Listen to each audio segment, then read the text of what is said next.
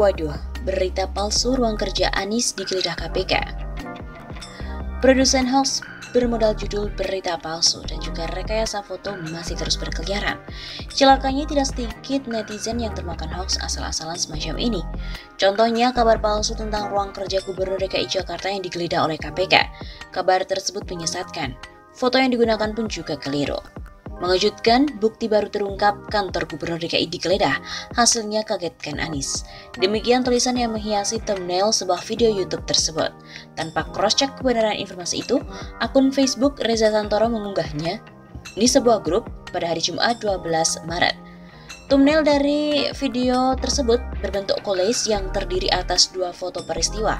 Satu foto menunjukkan petugas yang membawa keluar koper dari sebuah gedung, foto lainnya memperlihatkan pria berbaju batik yang menyerahkan barangnya ke Anis. Produsen hoax sengaja menyebar kabar palsu itu setelah KPK menetapkan kasus tersangka dugaan korupsi program DP 0 rupiah Pemprov DKI Jakarta.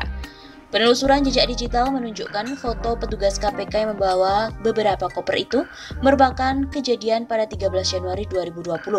Foto tersebut diabadikan oleh Irwan Resmawan, pewarta dari portal berita Tribun News. Foto itu memperlihatkan penyidik KPK yang membawa barang bukti setelah menggeledah kantor KPU di Jakarta.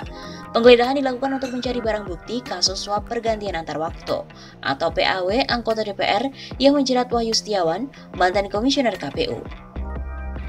Di sisi lain, foto Anis yang menerima barang dari pria berbaju batik beredar sejak tahun 2017.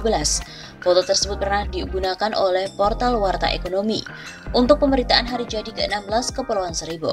Judulnya, BNI turut meriahkan hari jadi Kepulauan Seribu yang ke-16. Tentu foto itu tidak berkaitan dengan narasi yang menyebut kantor Gubernur DKI Jakarta digeledah oleh KPK. Faktanya, informasi yang menyebut bahwa KPK menggeledah kantor Gubernur DKI Jakarta itu adalah keliru.